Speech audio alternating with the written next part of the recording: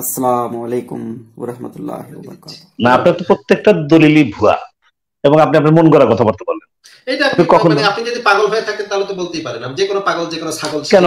কীভাবে শিশু দর্শক হলো আপনি? একটু শেষ করি একটু শেষ করি কথা একটু শেষ করি। যে কোনো পাগল ছাগল গাধা গরু যে কোনো কথা বলতে পারে। কথা বলতে তো ভাই পয়সা লাগে না। কিন্তু আপনি যে কথাটা বলছেন সেই কথাটা তো প্রুফ করতে হবে।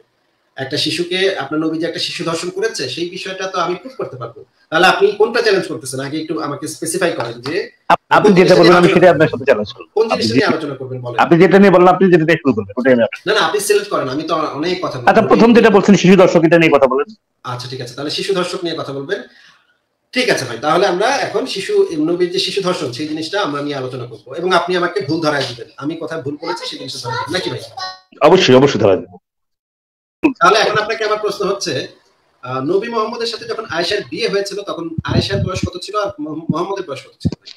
আচ্ছা আয়েশার বয়স ছিল হযরত আয়েশা ওনার বয়স ছিল হলো সম্ভবত নয় বছর। না ভুল বলছেন ছয় বছর। ছয় বছরের বিয়ে হয়েছে রাইট নয় বছরে তুলে হ্যাঁ এরকমই রাইট ছয় আচ্ছা ছয় বছর বয়সে নবী মোহাম্মদের বয়স তখন কত ছিল? ওনার ছিল ফিফটি টু থ্রি এরকম মনে হয়। আচ্ছা fifty two three fifty two three বয়স আর ছয় বছর বয়স। আচ্ছা নবী মোহাম্মদের সাথে যখন আয়েশার যৌন সঙ্গম হয়েছে তখন আয়েশার বয়স কত ছিল? নয় বছর ছিল। নয় বছর। আর মোহাম্মদের বয়স কত ছিল? ওই তো বললামই তো ফিফটি টু ধরেন। ফিফটি মানে তো আরও তিন বছর যুক্ত হবে তাই না? ফিফটি ফোর ফিফটি ফাইভ এরকম হবে নাকি? ফিফটি টু ধরেন। আচ্ছা ঠিক আছে ধরলাম ফিফটি টু এখন আপনি বলেন তো যে আয়েশার সাথে বিয়েটা যে হয়েছিল সেখানে কি আয়েশার মত ছিল? আমি আপনাকে বলি কিছু কিছু বিষয়ে আপনি যদি সবকিছু জেনারেল বিষয়ে জেনারেল আইন ধরেন সবকিছু ভাবে হবে না। আমি আমি আপনি যে প্রশ্নের উত্তর দিচ্ছি। হ্যাঁ উত্তর দিচ্ছি। আয়সার হজরত আয়সার মত দেওয়ার মতো তার ওরকম ইয়া ছিল না।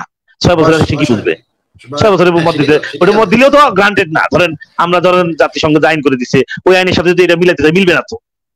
সেটাই তো আমি বলতে চাচ্ছি তবে আমি আমি বলতেছি একদম আমারও তো একটা মেয়ে আছে বুঝেন আমি কথা। আমার মেয়েটাকে তো আমি ধরেন নয় বছরে কারোর সাথে বিয়ে দিব না বা চোদ্দ পনেরো বছর দিব না। আমি কিন্তু বিশ বছর আগে বিয়ে দিব না। আপনি দিবেন না কোনো সুস্থ স্বাভাবিক মানুষই দিবে না। কিন্তু নবী মোহাম্মদ যখন আয়েশাকে বিয়ে করল তখন এই প্রস্তাবটা কে দিছিল ভাই? এটা নবী মোহাম্মদ সাল্লাম নিজে প্রস্তাব দিয়েছেন। নিজেই তার যখন প্রথম বিবি মারা গেছে তখন সে নিজেই গিয়ে তার বন্ধু তার বাল্য বন্ধু আবু বকরকে প্রস্তাব দিছে তার ছোট মেয়েটাকে সে বিয়ে করতে চায়। জি এবং এর আগে সে স্বপ্ন দেখছে মেয়েটারে নাকি জি জি জি জি হ্যাঁ। স্বপ্ন টপ্ন দেখছে স্বপ্ন টপ্ন দেখে বাচ্চাটারে বাচ্চা একটা শিশুকে সে বিয়ে করার জন্য আগ্রহ প্রকাশ করছে এবং রীতিমতো তাকে জোরাজুরি করে বিয়েটা করছে। না হযরত হযরত হযরত আয়েশার বাবারও খায়েশ ছিল আত্মীয়তা করার। না আবু বকরের খায়েশ ছিল না। এটা আপনি মিথ্যা কথা আচ্ছা ভাই জোর করে কি বিয়ে করছে? আপনি কি মনে করেন জোর করে বিয়ে করছে? তাহলে আমি আপনাকে দলিল দেখাচ্ছি ঠিক আছে? না দলিল পরে। আপনি আমাকে বলেন যে দলিল দলিল কথা বলবে ভাই। আমরা আচ্ছা আপনি দলিল দেন দেন দেন আমি না। আমি জোর করে করতে চাই না। না। দলিল দেন। কোথায় উনি কোথায় অসন্তুষ্ট ছিল এটা আমাকে দলিল দিতে হবে। ঐতিহাসিক একটা বিষয়। আপনি আমি বললেই তো ভাই সেটা হয়ে যাবে না তাই না? দলিল কথা বলবে। দলিলে দেখা যাক দলিলে কি বলা হচ্ছে দেখেন। সহি বুখারি তাহিদ পাবলিকেশনস থেকে যদি কেনা হয় তাহলে হাদিস নাম্বার হবে পাঁচ হাজার একাশি। দেখা যাচ্ছে ভাই হাদিসটা? হাদিসটা দেখা যাচ্ছে ভাই? হ্যাঁ দেখা যাচ্ছে। আচ্ছা এখানে কি লেখা আছে? বয়স্ক পুরুষের সাথে অল্প বয়স্কা মেয়েদের বিয়ে। এখানে বলা হচ্ছে নবী সাল্লাল্লাহু সাল্লাম আয়েশার কাছে বিয়ের পয়গাম দিলেন। আবু বকরের কাছে আয়েশার বিয়ের পয়গাম দিলেন। আবু বকর বললেন আমি আপনার ভাই। এই কথাটা কেন বললেন আবু বকর বলেন তো? মানে আবু বকরের যদি আগে থেকে নবীর সাথে আত্মীয়তা করার একটা ইচ্ছা থাকে গোপন একটা ইচ্ছা মনে করি আবু বকরের মধ্যে আবু বকরের মনে গোপন একটা ইচ্ছা আগে থেকে ছিল নবী যদি আমার মেয়েটাকে বিয়ে করতো আরে তাহলে আমি আত্মীয়তা করতে পারতাম নবীর সাথে। কত মানে তার খুব ইচ্ছা মনে মনে ইচ্ছা। কিন্তু নবী যখন এসে তাকে প্রস্তাবটা দিল আবু বকরের মুখের থেকে প্রথম যে কথাটা বের হইল আপনি তো আমার ভাই হন আপনি তো আমার ভাই। ইংরেজি অনুবাদে আরও পরিষ্কার বলা আছে but I am your brother but কথাটা এখানে আছে। কিন্তু বাংলা অনুবাদে বাট কথাটার মানে অনুবাদটা করা হয়নি। দেখেন এখানে একটা চালাকি করছে। কিন্তু কথাটা এখানে বলে নাই বাংলা অনুবাদের সময় ঠিক আছে? বাংলা অনুবাদে খুব সুন্দর করে কিন্তু জিনিসটা বাদ দিয়ে দিচ্ছে যেন এটা নিয়ে মানুষজন ইয়া না করতে পারে প্রশ্ন না তুলতে পারে। বাংলা অনুবাদে আবার কিন্তু জিনিসটা দেয়নি এখানে কিন্তু আবু বকর কিন্তু একটা কিন্তু করছিল নাকি ভাই? আচ্ছা কিন্তু বলছে যে কিন্তু আপনি আমার ভাই। কিন্তু করছে। আপনি যে বললেন আবু বকরের মনে একটা সুপ্ত কামনার ইচ্ছা ছিল। আমি বলি আমি তো এখানে এই দলিলে এই দলিলে আবু বকরের মনে কোনো সুপ্ত ইচ্ছা দেখতে পাচ্ছি না বরঞ্চ একটা কিন্তু দেখতে পাচ্ছি। ঠিক আছে আমি তো আপনার সাথে এই জায়গায় একমত কিন্তু আবু বকরের সাথে আবু বকর হজরত মোহাম্মদ সাল্লাল্লাহু সাথে আত্মীয়তা করতে চাইছে কিন্তু হয়তো মেয়েকে নিয়ে ভাবে না অন্য কোনো কিছু নিয়ে ভাবে না হয়তো। না আমার কথা আত্মীয়তা করতে চাইছে অবশ্যই আমিও বলি আত্মীয়তা করতে চাইছে। আবু বকর নবীর মেয়েকে বিয়ে করতে চাইছিল আবু বকর নবীর মেয়ে ফাতিমাকে বিয়ে করে আত্মীয়তাটা করতে চাইছিল। নবীর যে মেয়ে সেই মেয়ের বয়স তখন ছিল চোদ্দ বছর। আবু বকরের খায়েশ ছিল নবীর মেয়েটারে বিয়ে করবে।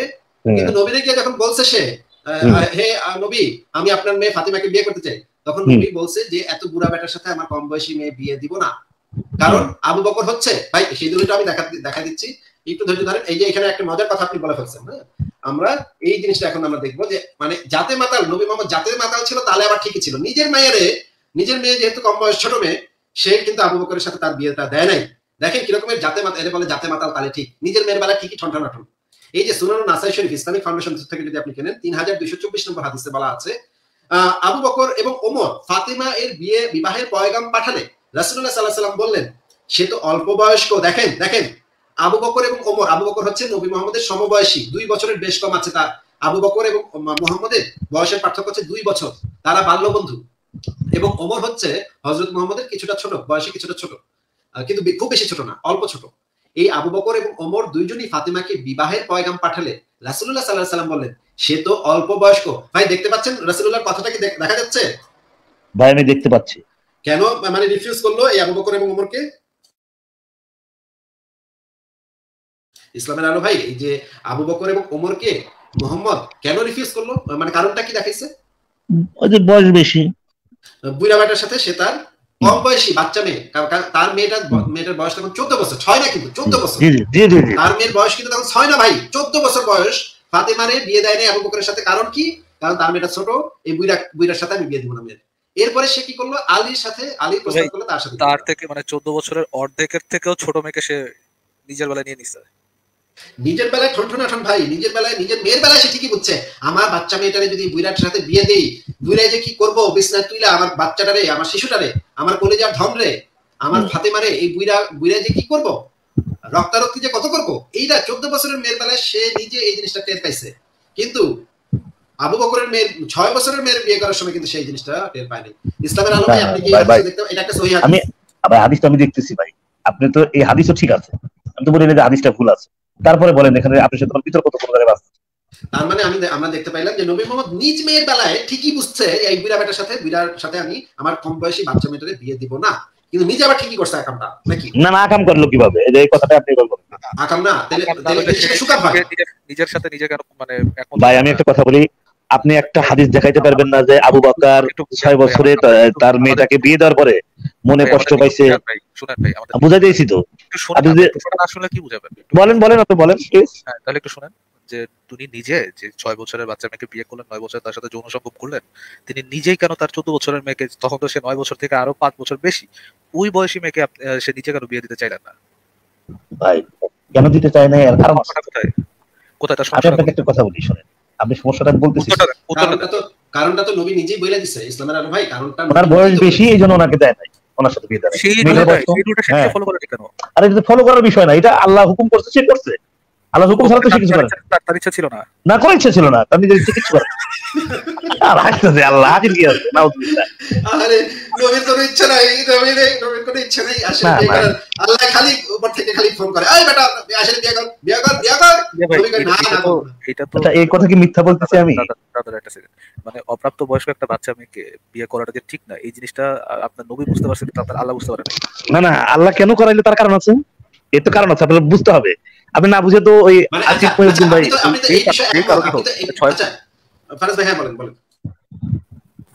বলতেছিলাম যেই কারণই হোক সেই কারণটা কি ছয় বছরের বাচ্চা বিয়ে না করলে ওটা কমপ্লিট হতো না? ওটার জন্য ছয় বছরের বাচ্চা বিয়ে এবং নয় বছরের তার সাথে যৌন সম্পর্কটা মাস্ট নেসেসারি ছিল। না না আপনারা কথায় কথায় শুনেন। চোদ্দ পনেরো বছর একটু সুশুরি মনে হয় বেশি খালি যৌন নিয়ে আলাপ করতেছে ভাই যৌন সঙ্গমের কথাটা আমার কথাটা স্পেসিফিক অ্যান্সার দেন ভাই। আমি যেটা বলতেছি সেটা আপনার নবী করছে। লজ্জায় ফেললে আপনার নবীকে লজ্জায় ফেলেন আমাকে কেন ফেলতেছেন না না আমি তো আপনাকে ফেলার কিছু নাই। আমি সত্যি আচ্ছা আমি কি বলছি যে সে যৌন সম্পর্ক করছে কি করে নাই? এই বিষয়ে কি আপনাদের সাথে বিতর্কে গেছি? আপনি শুধুমাত্র ওই দিকে টানতেছেন কিন্তু আপনি মূল বিষয়টা আসতেছেন না। আসিফ ভাই আপনি কাজ করেন। আপনাদের যত গ্যাং ব্যাং আছে না সবাইকে খবর দিয়ে আসেন। সবাই মিলে আমার সাথে যুক্ত নামেন হ্যাঁ? আপনি কথা বলতেছেন আপনি বলেন আসিফ ভাই। আসিফ আসিফ ভাই উনি কি তো কথা শুনতেছেন না। এটা তো এটা কীভাবে তাহলে কথাটা সামনে আগাবো? তো কথাই শুনতেছেন না। বলেন ভাই শুনতেছি বলেন। আমি আপনাকে এর আগে কি প্রশ্ন করছিলাম একটু বলুন তো ভাই।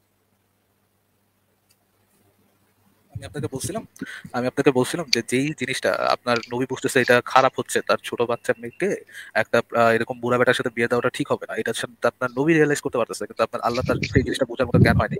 আপনি বলতেছেন ওটার পিছনে একটা কারণ ছিল। এমন কোনো কারণ ছিল যে নয় বছর বয়সে তার সরি ছয় বছর বয়সে বিয়ে করে নয় বছর বয়সে তার সাথে যৌন না করলে ওই কারণটা ফিল আপ হইতোই না। আর কোনো পসিবিলিটি ছিল না। এই জন্য নয় বছরের একটা বাচ্চার সাথে যৌন সঙ্গম করার নেসেসারি ছিল। আমার কথা শুনুন। নেসেসারি আমি প্রশ্নটা ইসলামের আলো ভাই আপনি প্রশ্নটা কি বুঝেছেন কিনা এই জিনিসটা যদি আমাদেরকে একটু বলতেন? এটা একটা ইম্পর্টেন্ট কোশ্চেন ভাই। বলেন উত্তরটা দেন। আমি তো প্রশ্ন না বুঝে আনসার করি না। উত্তর ভাই গুলি মারেন। আগে বলেন প্রশ্নটা বুঝছেন না সেটা আগে বলেন। বুঝি নাই কেন? বুঝছি তো। উত্তর না দিলে তো আপনি বুঝবেন না। প্রশ্নটা রিপিট করেন আগে। ভাই আমি আপনাদের কাছে কি ভাইবা দিতে আসি? এমন ভাবে বলতেছেন। এতক্ষণ আলোচনা শুনেন আমি আপনাকে কথা বলি। প্রশ্নটা প্লিজ রিপিট করেন। এতক্ষণ আমি আপনাদের সাথে যে আলোচনায় অংশ নিছি ন্যূনতম এটা আপনার ধারণা থাকা দরকার যে লোকটা এটা বুঝছে কি বোঝে নাই। ভাই উনি উনি প্রশ্ন বুঝছে ওনাকে উত্তরটা দিতে দেন। ভাই বুঝলে বুঝলে বলতে সমস্যা কোথায় উনি বুঝছেন? না না উনি উনি কিন্তু উনি কিন্তু মানে বুদ্ধিমান। আমি একটু আগে আসিফ ভাই আপনার সাথে কথা বলতেছি। আপনি বলেন যে আমি ছিলেন না। ফরাজ ভাই কিন্তু প্রথমে ছিলেন না। উনি কিন্তু বুদ্ধিমান লোক। উনি ইন্টেলিজেন্ট লোক। উনি একদম ইয়া মুমিন না। উনি আইনস্টাইন হোক সমস্যা নাই। কিন্তু আমার তো বুঝতে হবে যে উনি আমার কথাটা বুঝতে পারতেছেন আপনি ওটা আসিফ ভাইয়ের কাছে বুঝে নেন যে আমি বুঝছি কিনা। না না ফরাজ ভাই অনেক উত্তর দিতে দেন। ভাই ভাই উত্তর দেন। আচ্ছা দেখি কি বুঝছেন উত্তরটা দেন। শুনেন ওই ওই মুহূর্তে আল্লাহ পাকের একটা নির্দেশ ছিল এটা করার। কারণ হলো কি? আপনি দেখেন কোরআনের অধিকাংশ মানে সরি হাদিসের অধিকাংশ হাদিস কিন্তু হযরত আয়েশা দেখা একটু একটু ওয়েট করেন একটু ওয়েট করেন একটু ওয়েট করেন। ইসলামের হলো এক সেকেন্ড ভাই। আল্লাহ পাকের কি এই কাজটা না করে অন্য কোনো ভাবে এই যে আপনি এখন যে কথাগুলো বলবেন যে হাদিস অনেক হাদিস আয়েশা বর্ণনা করছে। জি জি জি জি। এই কাজটা তো ভাই আপনি কিন্তু গ্যারান্টি নিছেন সে বুঝছে। আপনি কিন্তু আবার রিপিট করে দিয়েছেন। আপনি কিন্তু গ্যারান্টি নিছেন সে বুঝছে। হ্যাঁ এখন কি বলব ভাই? আচ্ছা ফারাজ ভাই আপনি বলেন। আমার কথাটা সিম্পল আমি যে কোশ্চেনটা করছি উনি আগে সেটা রিপিট করুন উনি কোশ্চেনটা বুঝছে কিনা তারপর উনি আনসারটা দেখ ভাই আমি কোশ্চেন বুঝছি আপনি আমার কাছ থেকে আনসার চান। আপনি লাগলে আবার প্রশ্ন করেন আমি তার আনসার দিই। আমি প্রশ্ন রিপিট করব না ভাই। বলেন নাকি কি বুঝছেন আসিফ ভাই আরেকবার সুযোগ দেন দেখেন কি উত্তর দেয় বলেন উত্তর দেন প্লিজ উত্তরটা উত্তরটা দেন আপনারা বারবারই বোঝানোর চেষ্টা করতেছেন যে আল্লাহ পাক কেন এই কাজ করাইলেন? কেন তার সাথে নয় বছরে সেক্স করাই লাগবে কেন? ভাই আপনি শুধু সেক্সের বিষয়টা টানতেছেন। এখানে আমার দাদিরও নয় বছরে বিয়ে হয়েছে আমার দাদির আত্মীয় স্বজন অনেক পুরাতন লোকজন খোঁজ নিয়ে দেখেন নয় দশ বছরে বিয়ে হয়েছে এরকম অনেক ঘটনা আছে। আর এক একজনের গ্রোথ এক এক রকমের হয়। হ্যাঁ? তা আমার কথা আপনি না আপনি ভাই আমরা যে আলোচনা একটু পরে করব। এইগুলো আপনি এখন করতেছেন কেন? আপনাকে যে প্রশ্নটা করা হয়েছে সেটার উত্তরটা দেন না ভাই। তারপর তো আমরা এই বিষয়গুলো নিয়ে একটু পরে আবার আলোচনা আসবে তো দলিল সহ আলোচনা করব তো। আপনাকে যে স্পেসিফিক কোশ্চেনটা করা হয়েছে যদি প্রশ্নটা না বুঝে থাকেন তাহলে আবার বলেন যে ভাই আরেকবার প্রশ্নটা করেন আমি উত্তর দিচ্ছি। তারপরে আমরা আলোচনাটা করি। আচ্ছা আপনি পরে আলোচনা আচ্ছা প্লিজ আমি আমি আমি শুনেন আমি ওই বিষয়ে যাব পরে। আচ্ছা আপনি প্রশ্ন আবার একটু করেন। আপনি কি কথাটা বলছিলেন আমি কি ব্যাখ্যা দিলাম বলেন। সেটা আরেকবার করেন। আপনি না বললেন আপনি বুঝছেন। আপনার কোশ্চেন রিপিট করলে আপনি আপনার আমি আনসার দিলাম। আপনার আনসার দিতেই দেন না তো। কথা তো টেনে ধরেন। আপনারা যখন কথা বলেন আমি কিন্তু শুনেন আপনারা যখন কথা বলেন আমি অনেক টাইম দিয়ে শুনতেছি কথা। কিন্তু আপনি আমি বলতে গেলেই কথা তখন সময় দেন একজন বলেন একজন এরকম কথা বলতে আমার কথার মাঝে কথা বলেন আমি আপনাকে মিউট করে কথা বলতে বাধ্য হব। আমাকে এটা করাতে বাধ্য করে না। আমি আপনাকে খুব সিম্পলি স্পেসিফাইড একটা স্পেসিফাইড একটা প্রশ্ন করছি। যে নবীর যে নিজে যেটা রিয়েলাইজ করলেন যে ছয় বছর, চোদ্দ বছর একটা বাচ্চা মেয়ে, ছোট মেয়ের সাথে বিয়ে দেওয়াটা ঠিক হবে না। এটা তিনি নিজে রিয়েলাইজ তার তার আল্লাহ সেটা রিয়েলাইজ করেন, তার আল্লাহ তাকে ছয় বছর একটা বাচ্চার সাথে বিয়ে দেওয়া হয়েছে, নয় বছর তার সাথে যৌনসঙ্গম সে করছে। এখন আপনি বলতেছেন এটার পিছনে একটা কারণ ছিল, ওই সেক্সের পিছনেই কারণ ছিল বলে আপনি বলতেছেন, যে বিয়ে করার সেক্স করা ওটার পিছনে একটা কারণ ছিল। সেই কারণটাই তো আপনি বলবেন। এই কারণটার ক্ষেত্রে আমি বলতেছি যে এমন কোন কারণ ছিল যে কারণটা ছয় বছরের বাচ্চা মেয়ে বিয়ে করা এবং তার সাথে যৌনসঙ্গম না হইলে ওই কারণ ওই কারণটা ফিল আপ হইতো না ওই জিনিসটা ফিল আপ হইতো না ওই কাজটা কমপ্লিটেড হইতো না। কি এমন কাজ ছিল? আপনি যদি বুঝে থাকেন তাহলে রিপিট মানে তাহলে অ্যান্সারটা দেন। আর যদি না বুঝেন তাহলে স্কিপ করেন ভাই এটার উত্তর আপনি দিতে পারবেন না। অন্যভাবেও এটা সমাধান করা যেতে হয়তো বা কিন্তু এটা উনি পছন্দ করছে ওনার পছন্দ অনুযায়ী এটা হয়েছে। আপনি ধর্ম বিশ্বাস করতে গেলে তার মানে আপনার মাথায় এমন কোনো অ্যান্সার নাই যে অ্যান্সারে ছয় বছরের একটা মেয়েকে বিয়ে করা এবং তার সাথে যৌন সঙ্গম করাটা মাস্ট নেসেসারি হয়। এমন কোন অ্যানসার আপনার মাথার মধ্যে এই অ্যান্সার আমি কেন কেউ দিতে পারবেন আপনি দিতে পারেন পারলে তাই দেখি আপনি অ্যান্সার দেন এটা এটা অবশ্যই দেওয়া যাবে এটা অবশ্যই দেওয়া যাবে। পঞ্চাশ বছরের একটা পেডোফাইল ছয় বছরের বাচ্চা মেয়ের সাথে যৌন করে তার খায়েস যাচ্ছে খায়েস জাগার পর সে আল্লাহ সে তার আল্লাহ বাহানা করে একটা ছয় বছরের বাচ্চার সাথে যৌন সঙ্গম করছে। তার যখন তার যখন শুনেন তার যখন পঁচিশ বছর বয়সে পঞ্চাশ বছরের মেয়ের সাথে ইয়ে করতো যৌন সঙ্গম করতো ওই মেয়ে মরে যাওয়ার পরে ওই তার ওই তার ওই বিবি মরে যাওয়ার পরে তার যৌন খায়েস যাচ্ছে যতগুলা এজের দরকার ততগুলা এজের স্বাদ দিচ্ছে সে। পঞ্চাশ বছরের লুচ্চা বেটার তখন তার খায়েস চলছে যতগুলা খায়েস ছিল তার খায়েস ফিল আপ করছে। বাহ এই বিষয়টা তো আয়সা এই বিষয়টা তো আয়সা নিবি তার হাদিসে বলে গেছে যে হে নবীকে উদ্দেশ্য করে বলছে যে নবীর ইচ্ছা নবী যেটা মনে মনে ইচ্ছা করে আল্লাহ সেটা অতি দ্রুত সেই জিনিসটা মানে ইয়া করার ব্যবস্থা করে দেয়। শুধু সেটা না ভাই শুধু সেটা না এমনকি সে যে মেয়ের রূপ লাবণ্য দেখে আকৃষ্ট হয় এবং এটা যে তার কিরা চরিত্র একটা স্বভাব সেটাও সে জানে এবং সেটা সে তার হাদিসও বলে গেছে। এক্স্যাক্টলি আমরা তাহলে সেই হাদিস আচ্ছা ফারাজ ভাই আপনি কি আপনি কি আকৃষ্ট হন না? আসিফ ভাই সুন্দরী মেয়ে দেখলে কি আপনি আকৃষ্ট হন না? ছয় বছরের বাচ্চা মেয়ে আমি আমি আকৃষ্ট হই না। ছয় বছরের বাচ্চা মেয়ে দেখে আমরা আকৃষ্ট হব। আমাদের কি কুত্তায় কুত্তায় কামড়াইছে নাকি? পাগলা কুত্তায় কামড়াইছে আমাদেরকে ভাই? আপনার নবীর মতো পাগলা কুত্তা তো আমরা হতে পারব না ভাই। সম্ভব না আমাদের পক্ষে। যে ছয় বছরের মেয়ে দেখলে আমাদের মানে বিচি কান্দে উঠে যাবে। এরকম পাগলা কুত্তা তো আমাদের পক্ষে হওয়া ভাদ্র মাসের পাগলা কুত্তা তো আমাদের পক্ষে হওয়া সম্ভব না ভাই। হ্যাঁ? আমি আপনাদের আপনাকে যে রেফারেন্সগুলো দেখাচ্ছি এখন সেই এই যে এই রেফারেন্সগুলো এখন আপনাকে আমি দেখাবো। যে নবী ছিল কামুক স্বভাবের হ্যাঁ? অত্যন্ত কামুক স্বভাবের, সুন্দরী মেয়ে দেখলে তার মাথা ঠিক থাকতো না। এইটা দেখেন বুখারি শরীফের চার হাজার চারশো পঁচিশ নম্বর হাদিস, এখানে যে জিনিসটা বলা হচ্ছে আয়সা থেকে বর্ণিত। তিনি বলেন, যেসব মহিলা নিজেকে রাসুল্লাহর কাছে হেবা শরীফ ন্যস্ত করে দেন, আমি তাদের তাদের আমি ঘৃণা করতাম। আমি মনে মনে বলতাম, মহিলারা কি নিজেকে অর্পণ করতে পারে? এরপর যখন আল্লাহ তালা ইয়াত নাজিল করেন, আপনি তাদের মধ্যে থেকে যাকে ইচ্ছা আপনার কাছে আপনার কাছ থেকে দূরে রাখতে পারেন এবং যাকে ইচ্ছা আপনার নিকট স্থান দিতে পারেন। আর আপনি যাকে দূরে রেখেছেন তাকে কামনা করলে আপনার কোনো অপরাধ নেই। তখন আমি বললাম, আমি দেখেছি যে আপনার আপনি যা ইচ্ছা করেন তাই পূরণ করেন। আপনি যা ইচ্ছা করেন তাই পূরণ করেন। এখানে দেখেন এখানে এই অনুবাদে যেটা বলা হয়েছে, আমার মনে হয়, আশা বলতেছে আমার মনে হয় আপনার রব আপনার মনোবাঞ্ছা পূর্ণ করার তরিত ব্যবস্থা নিচ্ছেন। আপনার মনোবাঞ্ছা পূর্ণ করার এই যে সুন্দরী মেয়ে দেখলে যে নবীর মাথাটা নষ্ট হয়ে যায়, এই বিষয়ে আয়সা বলছে যে, আমি দেখলাম যে, আমার মনে হয় আপনার রব আপনার মনোবাঞ্ছা পূরণ করার তরিত ব্যবস্থা নিচ্ছেন। আরও অনেকগুলো হাদিস থেকে জানা যায় যে, আয়েশা নিজেও জানতো যে, নবীর চেয়ে নবীর যে এরকম একটা খাইস্টা একটা স্বভাব আছে, সে সুন্দরী মেয়ে দেখলেই আর যে রং হয়ে যেত। হম এই জিনিসটা মানে আয়েশা বহু জায়গায় বহু জায়গায় বলছে। যে দেখেন, এই হাদিসটার মধ্যে, সুনান আবু দাউদ শরীফের সুনান আবু দাউদ শরীফ তাহাকিকৃত তিন হাজার নয়শো একত্রিশ নম্বর হাদিস। এখানে আয়েশা সূত্রে বর্ণিত, বনু মুস্তালিকের যুদ্ধে জুয়াইরিয়া বিদ্দুল হারিস ইবনুল মুস্তালিক বন্দিনী হয়ে সাবিত ইবনু কাইস এর চাচাতো ভাইয়ের বাকি পড়েন। অতঃপর তিনি নিজেকে আজাদ করার জন্য চুক্তি করেন। তিনি খুবই সুন্দরী নারী ছিলেন নজর কারা রূপ ছিল তার। আয়েশা বলেন, তিনি চুক্তির অর্থ চাইতে রাসুল্লাহ সাল্লাহ সাল্লামের নিকট এলেন। তিনি দরজায় এসে দাঁড়াতেই আমি তাকে দেখে অসন্তুষ্ট হলাম। মানে আয়েশা সেই সুন্দরী মেয়েটাকে দেখে অসন্তুষ্ট হলো। আয়েশা বলতেছে, আমি ভাবলাম যে রূপ লাবণ্যে আমি তাকে দেখেছি, শীঘ্রই রাসুল্লাহ সাল্লাহ তাকে এভাবে দেখবেন। মানে হচ্ছে, আয়েশা, এই সুন্দরী মেয়েটাকে নবীর দরজার কাছে এসে দাঁড়াইতেই আয়েশা একটু অসন্তুষ্ট হয়েছে যে, এত সুন্দরী মেয়ে, এই সুন্দরী মেয়ে দেখলে তো আমার নবীর যে চরিত্র ফুলের মতো পবিত্র, আমার যে নবী যে সচ্চরিত্রের লোক, এই সুন্দরী নারীকে দেখলে তো আমার নবী ছাড়বে না। এটা তো মানে করবোই করব এটা করবোই করব। নবী কি তার বিপক্ষে কিছু করছিল না? তার পক্ষে তাদের সন্দেহ ছিল সেটাই করছিল। কোনটা করছিল সেটাই করছে সেটাই করছে। একদম এক্স্যাক্টলি নবী তাকে বলছে যে তুমি তোমার এই টাকা দিতে হবে না তোমাকে আমি বিয়ে করে নিতেছি। আমি তোমার চুক্তি পানা পরিশোধ করে আমি বিয়ে করব। পঞ্চান্ন ষাট বছরের একটা মানে পঞ্চান্ন থেকে ষাট বছরের একটা বুইরা হ্যাঁ একেবারে বুইরা বুইরা বেটা। আমি আপনাদেরকে যে জিনিস এরকম অসংখ্য হাদিস আছে অসংখ্য হাদিস আয়েশা নিজে বলছে যে তার নবী যে লুচ্চা ছিল। এইটা আয়েশা খুব ভালোভাবে বুঝতো খুব ভালোভাবে জানতো এবং খুব ভালোভাবে সে বইলেও গেছে হাদিসের মধ্যে। এগুলো সব আয়েশার হাদিস। অস্বীকার করার কোনো উপায় নেই। এই যে আপনি যে বললেন যে আয়েশা হাদিস বর্ণনা করছে এইটার কারণেই আল্লাহ দিয়া মানে করাইছে। আর কোনো উপায় ছিল না। আর কোনো উপায় ছিল না। ছয় বছরের বাচ্চারা বিয়ে করে নয় বছরের তার সাথে যৌনসঙ্গম করলে ওই ওই নবী মোহাম্মদ ওই হাদিসটা আর কোনো উপায় ছিল না। আল্লাহ নবী আর তার মোহাম্মদের কোনোভাবে রেকর্ড রাখার। ছয় বছরের বাচ্চা ফারাজ ভাই, আবু হুরাইরা হাদিস মনে রাখতে পারতো না। আবু হুরাইরা হচ্ছে সবচেয়ে বেশি হাদিস বর্ণনাকারীদের মধ্যে সবচেয়ে উপরের দিকে আছে হ্যাঁ? আবু হুরাইরা হাদিস মনে রাখতে পারতো না। আবু হুরাইরা নবীর কাছে একদিন গেছে। নবীর কাছে গিয়ে বলতেছে হ্যাঁ নবী, আমি তো হাদিস মনে রাখতে পারি না। আপনি কি বলেন, আমি বিলাদি। কি করব? নবী তাকে বলল যে, তোমার এই চাদরটা, এই যে চাদর দিলাম, এই চাদরটা তুমি জড়ায় রাখবা। চাদরটা জড়ায় রাখলে তুমি আর হাদিস বলবা হ্যাঁ? এরপর থেকে আবু আবু হুরাইরা বলল যে, এরপর থেকে আর আমি হাদিস বলি না। এরপর থেকে আমার হাদিসগুলো মনে থাকে। আমি হাদিস মুখস্থ করে রাখতাম, আমার মনে থাকতো।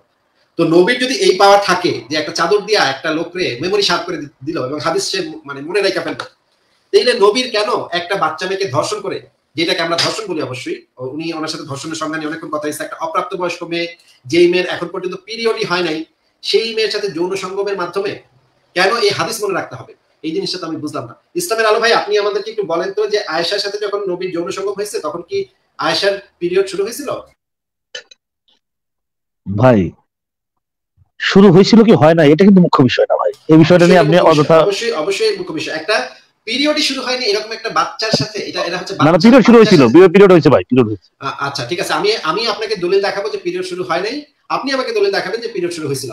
আগে আপনি দেখান তারপর আমি দেখাচ্ছি যে পিরিয়ড তখনও শুরু হয়নি। পিরিয়ড শুরু হয়েছিল তার পাঁচ বছর পরে সেটা আমি দলিল সহ প্রমাণ করব। আপনি আগে প্রমাণ করেন। আমার কথা শুনেন পিরিয়ড অনেক বয়স বেশি হলেও পিরিয়ড আপনাকে যেটা জিজ্ঞেস করেছি যেটা জিজ্ঞেস করেছি ভাই আপনি বললেন যে আয়েশার সাথে যখন নবীর যৌন সঙ্গম হয়েছিল তখন আয়েশার অলরেডি পিরিয়ড শুরু হয়ে গেছে।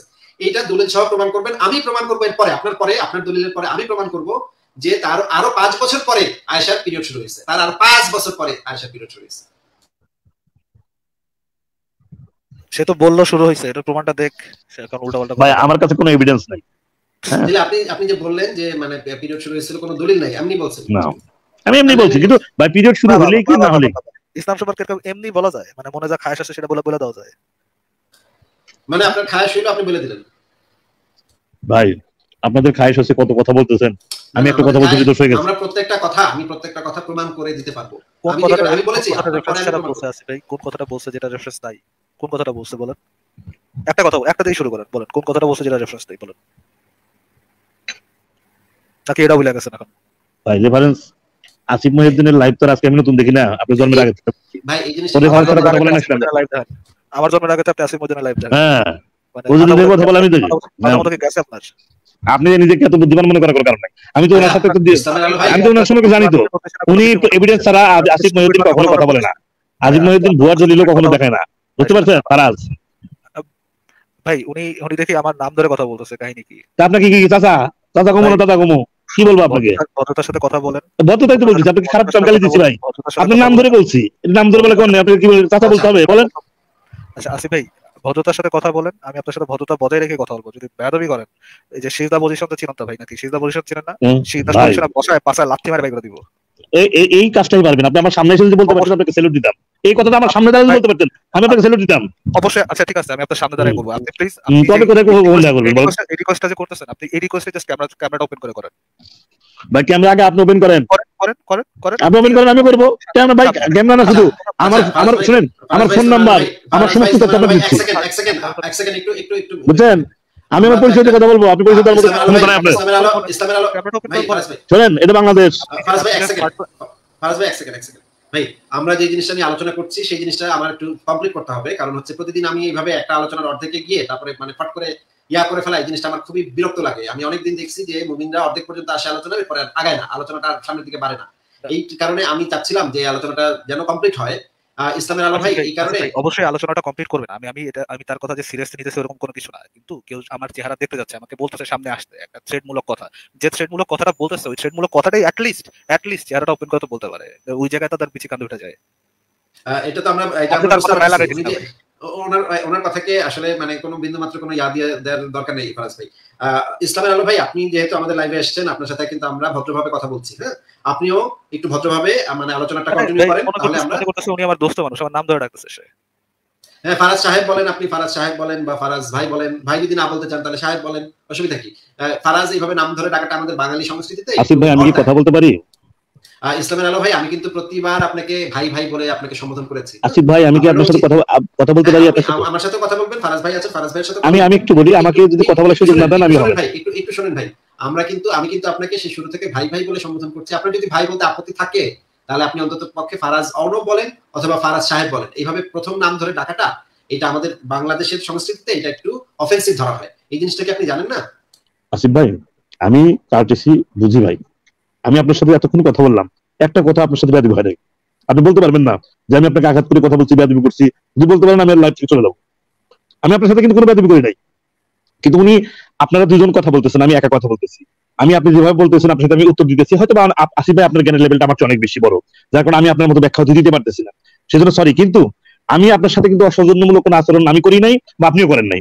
কিন্তু ফারাজ সাহেব এসে ওনার কথাবার্তার যে অ্যাটিচিউড এটা কোনো this is not a hard discipline এটা আমার ভালো লাগে না আমি অবশ্যই আপনাকে চাপ দিয়ে কথা বলছি কিন্তু আমি আপনার সাথে পার্সোনাল হয়ে আমি আপনার সাথে আপনাকে ডিসরেসপেক্ট করে কোনো কথা বলি নাই। আমি বলি নাই ইসলামের আলো আপনি আমার কথা শুনেন ইসলামের আলো তুমি আমার কথা শুনো এই টাইপের কোনো কথা আমি আপনাকে বলি নাই। আমি ইসলামের আলো যতবার বলছি সাহেব বলেই বলছি। পার্সোনাল হওয়া আর একটা আলোচনায় চাপ দিয়ে কথা বলা একটা আলোচনায় সিরিয়াস করে কথা বলা প্রশ্নের আমি আমি আপনাকে একটা কথা বলি আমি আপনার সাথে কথা বলব কিন্তু আমার একটা শর্ত আসলে ভাই। সেটা হলো আমি আপনার সাথে কথা বলি আমি ফারাজ ভাই যদি কথা বলতে আমি কথা বলব। কারণ আপনার সাথে সুন্দরভাবে আগাচ্ছিলাম।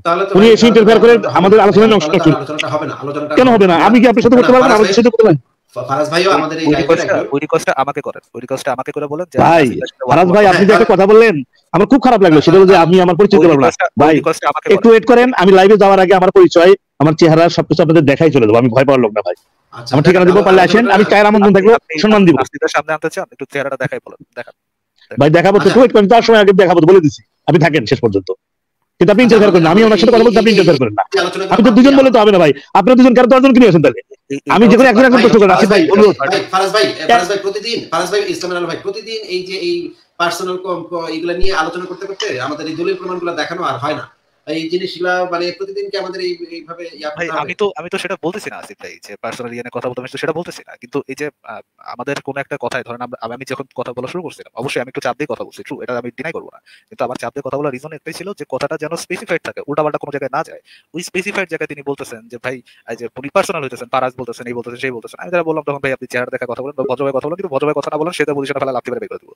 এটা অবশ্যই আমি করব যদি আপনি আলোচনা ফারাজ ভাই, আমরা তো আমাদের দীর্ঘ অভিজ্ঞতার মাধ্যমে দেখছি যে একটা পর্যায়ে এসে মুমিনদের একটা চেষ্টা থাকে।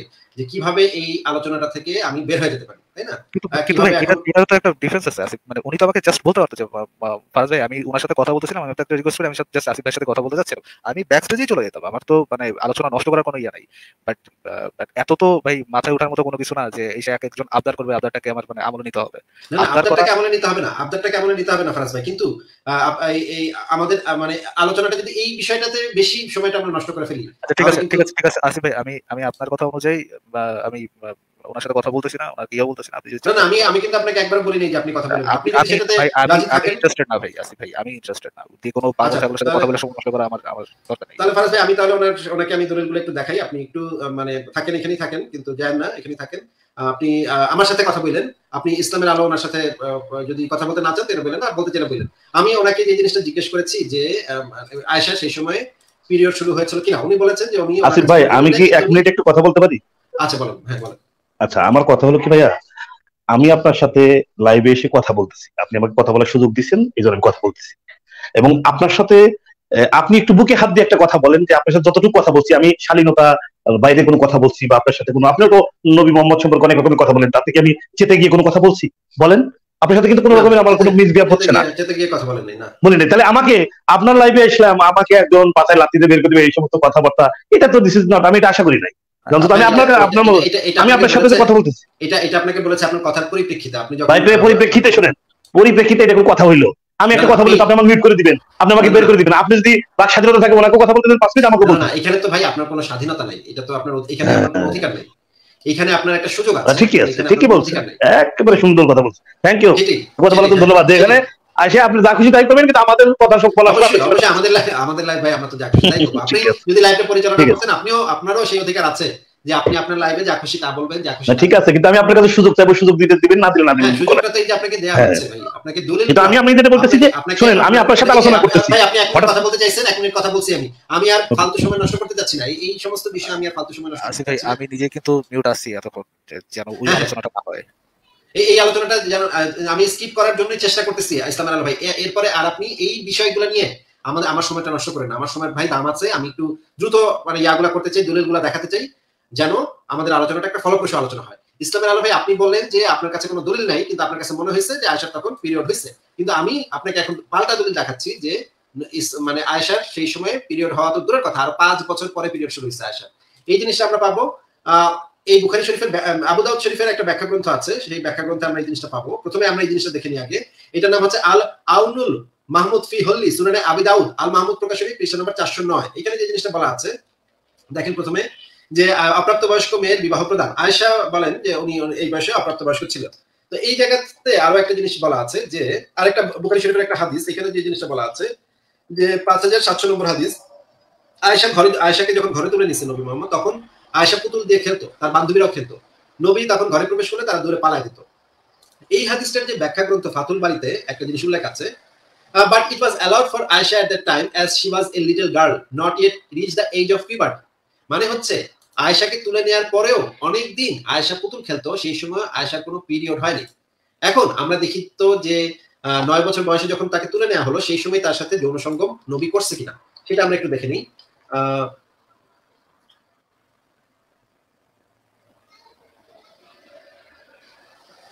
আচ্ছা আরও একটা বিষয় হচ্ছে যে আয়সা কিন্তু একমাত্র ছিল না। শিশুর প্রতি যে নবী মোহাম্মদের আসক্তি ছিল আয়সা কিন্তু একমাত্র না। আরও একটা হামাগুড়ি দেওয়া শিশুকে দেখেও নবী বিয়ে করার আগ্রহ প্রকাশ করছিল। বলছিল, এই মেয়েটা আরেকটু বড় হইলে আমি তাকে বিয়ে করব। কিন্তু এই মেয়েটা হামাগুড়ি দিচ্ছিল তখন। এই জিনিসটা আমরা কোথায় পাই? এই জিনিসটা আমরা পাই সিরাতে রাসুল্লাহ অনুবাদ হচ্ছে শহীদ আখন প্রথম প্রকাশনী পৃষ্ঠা নাম্বার তিনশো তিপ্পান্নতে আমরা এটা পাই। এখানে বলা হচ্ছে, এটা তাবারি, তাবারির হিস্ট্রি অফ তাবারিতে পাওয়া যায় এবং মানে লাইফ অফ মোহাম্মদ এই বইটাতে পাওয়া যায়। এখানে যে জিনিসটা বলা হচ্ছে, আপনাকে দেখাচ্ছি। হাদিসটার অনুবাদ হচ্ছে, এই যে দেখেন রাসুল্লাহ সাল্লাহ সাল্লাম আব্বাসের দুগ্ধ পোষ্য শিশু বয়সে দেখে বলেন, যদি আব্বাসের মেয়ে বালেগা হয় আর আমি ততদিন বেঁচে থাকি, তাহলে আমি তাকে বিয়ে করব। মানে একটা মানে দুগ্ধ পোষ্য শিশু দেখেও তার বিয়ে করার খায়স দেখছিল এটাও এটা এটা হচ্ছে দ্বিতীয়। আরও একটা মেয়েকে দেখে সে, আরেকটা মেয়েকে, বাচ্চা মেয়েকে সে বিয়ে করছিল, সে কিন্তু সেই মেয়েটার সাথে সেক্স করতে পারে নাই। কারণ ওই মেয়েটা আল্লাহর দোহাই দিছিল। এই জিনিসটা আপনি পাবেন বুখারি শরীফের পাঁচ হাজার তাহিদ পাবলিকেশন থেকে কিনলে পাঁচ হাজার দুশো পঞ্চান্ন নম্বর হাদিসে। তো আমরা যে জিনিসটা নিয়ে আলোচনা করছিলাম, সেটা হচ্ছে তার পিরিয়ড হয়েছিল কিনা। দাঁড়ান, আমি একটু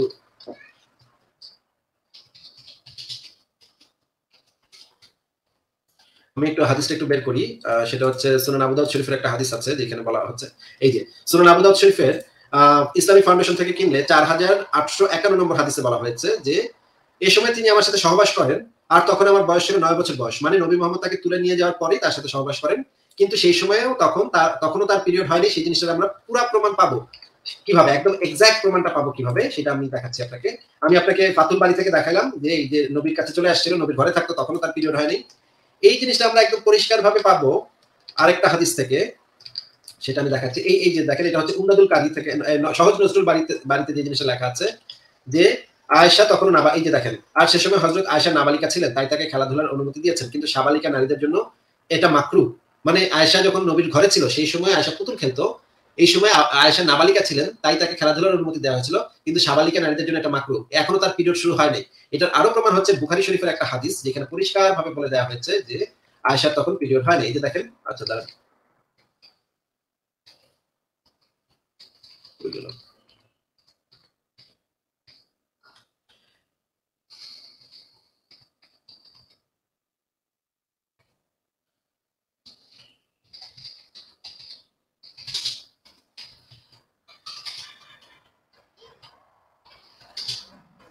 আচ্ছা হাদিসটা কই গেল? এখানে ছিল।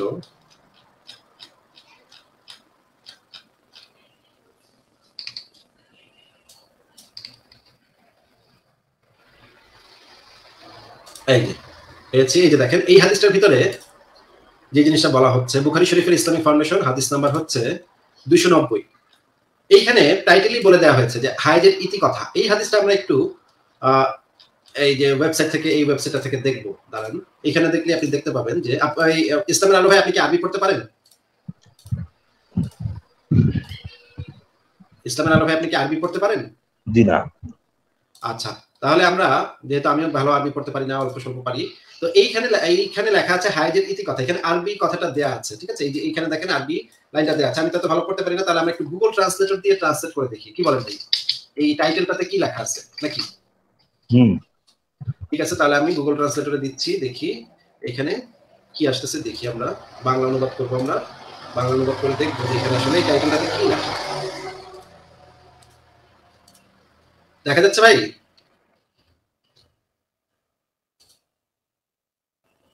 টাইটেলটার অনুবাদটা কি দেখা যাচ্ছে? ইসলামের আলো ভাই? ভাই আনমিউট করে কথা বলেন। দেখতে পাচ্ছি দেখতে পাচ্ছি। এখানে কি লেখা? বাংলা কি লেখা এটা? ঋতুস্রাবের শুরুটা কেমন ছিল? মানে এই হাদিসটার টাইটেলটা হচ্ছে ঋতুস্রাবের শুরুটা কেমন হয়েছিল তাই না? এই হাদিসটা আবার দেখাই। এই হাদিসটার টাইটেলটা হচ্ছে ঋতুস্রাবের শুরুটা কীভাবে হয়েছিল? হাইজ এই এই টাইটেলটা এইটা বাংলা অনুবাদ করেছে হাইজের ইতিকথা মানে শুরু কীভাবে হয়েছিল হাইজ নাকি ভাই? নাকি ভাই? আচ্ছা এই হাদিসের ভিতরে আমরা দেখি তাহলে নিচে নামি এই হাদিসের ভিতরে আমরা দেখি যে এখানে দেখেন আয়েশার হাদিসের আয়েশার হাইজের কথা বলা হচ্ছে এই যে দেখেন আয়েশা থেকে বর্ণিত এবং তিনি বলেন এরপর আমার হাইজ আসলো। দেখা যাচ্ছে? তার মানে আয়েশার আয়েশার হাইজ শুরু হয়েছিল কখন? সেই কথাটা এই হাদিসের মধ্যে বর্ণনা করা হয়েছে। নাকি ভাই? হ্যাঁ। আচ্ছা আয়েশার হাইজ তাহলে এই সময়টাতে শুরু হয়েছে। এই হাদিসটা যখন বর্ণনা তখন শুরু হয়েছে। এখন দেখেন এই সময়টা কোন সাল বলেন তো দেখি। আপনি আমি আপনাকে দেখাচ্ছি। আয়েশা বললেন যে আমরা হজের উদ্দেশ্যে মদিনা থেকে বের হলাম। বলেন তো ভাই যে নবী মোহাম্মদ আয়েশাকে নিয়ে কত সালে হজের উদ্দেশ্যে মদিনা থেকে বের হয়েছিল? বলেন তো। আমার জানা নাই। এটা হচ্ছে ছয়শো উনত্রিশ সালে মানে হিজরতের সপ্তম বছরে। এটা কি আপনি জানেন না যে নবী মোহাম্মদ প্রথম যে হজ করতে গেল মক্কায়? সেই হজটা কত সালে করতে গেছিল? আয়সাকে নিয়ে? আয়সা এবং সাফিয়াকে নিয়ে? আমার সঠিক মনে নাই। ছয়শো উনত্রিশ সালে ছয়শো উনত্রিশ সালে প্রথম এই যে তাহলে ছয়শো উনত্রিশ সালে আয়সার প্রথম হায় ছিল নাকি ভাই? হ্যাঁ। ছয়শো উনত্রিশ সালে যদি আয়সার প্রথম হায়েজ হয়ে থাকে আয়সার জন্ম কত সালে ভাই?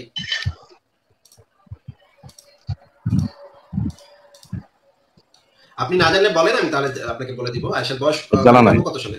আচ্ছা আপনাকে আমি জন্মটা বলে দিচ্ছি এখানে দেখেন জন্ম সালটা হচ্ছে আয়সার জন্ম সালটা হচ্ছে ছয়শো তেরো বা ছয়শো চোদ্দ সালে। ঠিক আছে? এটা হাদিস থেকে একদম পরিষ্কার জানা যায়। ছয়শো তেরো সালে বা ছয়শো চোদ্দ সালে। এখন আপনি বলেন তো ছয়শো চোদ্দ সালে হইলে বা ছয়শো তেরো সালে হইলে ছয়শো উনত্রিশ সালে তার বয়স কত?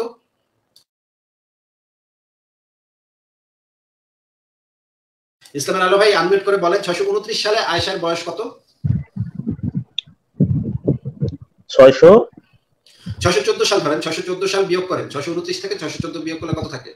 থাকে হলো পনেরো বছর। পনেরো বছরে। পনেরো বছরে আয়েশার প্রথম পিরিয়ড শুরু হয়েছে তাই না ভাই? জি। এবং আয়েশার সাথে নবীর যৌন সম্পর্ক কত সাল কত বছর বয়সে হয়েছে আয়েশার? নয় বছর বয়সে। তাহলে কয় বছর আগে? পিরিয়ড শুরু হওয়ার কয় বছর আগে নবী আয়েশার সাথে যৌন সম্পর্ক করছে? ভাই কয়েক বছর আগে করছে। ছয় পাঁচ থেকে ছয় বছর আগে। আমি যে বলছিলাম আমি কি ভাই আপনাকে প্রমাণ দিছি যে নবী আয়েশার পিরিয়ডের পাঁচ বছর আগে কমপক্ষে পাঁচ বছর আগে তার সাথে যৌন সম্পর্ক করছে? এটা কি আমি প্রমাণ দিছি প্রমাণ কি হয়েছে? প্রমাণ কি হয়েছে? আচ্ছা এখন আমরা যে জিনিসটা নিয়ে আলোচনা করব সেটা হচ্ছে নবীর আরও খায়স ছিল, নবী আরও বাচ্চা মেয়ে বিয়ে করছে, এমনকি ওমরও বাচ্চা মেয়ে বিয়ে করছে, এবং হচ্ছে কি আলীও বাচ্চা দাসী ধর্ষণ করছে, বাচ্চা দাসী ধর্ষণ করছে, এবং সুরাত আলাকের চার নম্বর আয়াতে আল্লাহ পাক এই বিধানটা সমস্ত মুমিনের জন্য জায়েজ করে দিয়ে গেছে। সমস্ত মুমিন কিয়ামত পর্যন্ত যতদিন পৃথিবী আছে, ততদিন, যতদিন ইসলাম আছে, যতদিন কোরআন আছে, ততদিন একজন মুসলিম বুইরা খাটাস, সে একটা বাচ্চা মেয়েকে বিয়ে করতে পারবে। এই বিষয়ে কোনো সমস্যা নাই। ইসলাম এই বিষয়টা অ্যালাউ করে। এখন কি আপনি এই জিনিসটা দলিল দেখতে চান? না। একই সাথে বাচ্চা মেয়ের সাথে যৌন সম্পর্ক করা যাবে। আপনি কি যৌন সম্পর্কে দলিলটা দেখতে চান? না। তাহলে ইসলাম অনুসারে আমরা জানতে পারলাম যে ইসলাম অনুসারে একটা বাচ্চা মেয়েকে বিয়ে করা যাবে বাচ্চা মেয়ের সাথে যৌন সম্পর্ক করা যাবে। নবী নিজে এই কাজটা করছিল এখন আপনি বলতে পারেন যে আপনার নানি দাদিও এই কাজটা করছিল। আপনার নানি দাদি বা আমার নানি দাদি যদি এই কাজটা করে থাকে তাহলে সেই কাজটা অন্যায় করছে। কিন্তু আমার নানা দাদা কেউই অনুকরণীয়, অনুসরণীয় জীবন আদর্শ যেহেতু না, আমি খুব সহজেই তাকে বাতিল করে দিতে পারি, তার কাজটাকে খারাপ কাজ হিসেবে গণ্য করে। আমি আর এই কাজটা করব না বা আমার ভবিষ্যৎ প্রজন্ম এই কাজটা করবে না। এইরকম কোনো কাজ আইনে পরিণত হবে না, এরকম কোনো কাজ জায়েজ হবে না, এই জিনিসটা আমি এনশিওর করতে পারি। কিন্তু নবীর ক্ষেত্রে আমি এটা এনশিওর করতে পারতেছি না, কারণ এটা ইসলামের আইন, ইসলামের বিধান। নবী যেটা করছে সেটা সুন্নার অংশ। এখন আপনি আমাকে বলেন যে, নবী যেটা করছে সেটা কি হারাম করা বা সেটা নিষিদ্ধ করা? একটা মুসলিম দেশে করা সম্ভব? একটা ইসলামিক শরিয়াতি দেশে করা সম্ভব? শুনেন নবী বিয়ে করছিলেন ধরেন এগারোটা। আমাদের জন্য তার এগারোটা না। নবীর হিসাবটা একটু আলাদা থাকবে। কারণ উনি হলো আল্লাহর বন্ধু। না আমি একটু আগে আপনাকে বলে দিয়েছি যে নবীর এই কাজটা সুরা তালাকের চার নম্বর আয়াত দ্বারা সমস্ত মুমিনের জন্য প্রযোজ্য করে দেওয়া হয়েছে। নবীর জন্য যে বিবাহ এগারোটা সেটা আবার সুরা নিসার তে এটা বলে দেওয়া হয়েছে মুমিনের জন্য হচ্ছে চারজন সর্বোচ্চ চারজন। কিন্তু কোরআন বা হাদিসের কোথাও এরকম কোনো কথা নাই যে নবী একাই বাচ্চাকে ধর্ষণ করতে পারবে আর কেউ কে ধর্ষণের অধিকার দেওয়া হয়নি। এটা আর কাউ এটা কোরআনেও নাই হাদিসেও নাই। এটা সমস্ত মানুষ করতে পারবে সমস্ত মানুষ না সরি সমস্ত মুসলমান।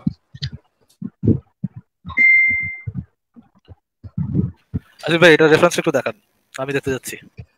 কোনটা ভাই আরেকটু বলেন কোনটা দেখতে যাচ্ছেন? এই যে অপ্রাপ্তবয়স্ক বাচ্চা মেয়ের সাথে বিয়ে এবং যৌন সঙ্গম করা যে প্রত্যেকটা মুমিনের জন্যই হালাল এই জিনিসটা আমাকে একটু দেখান।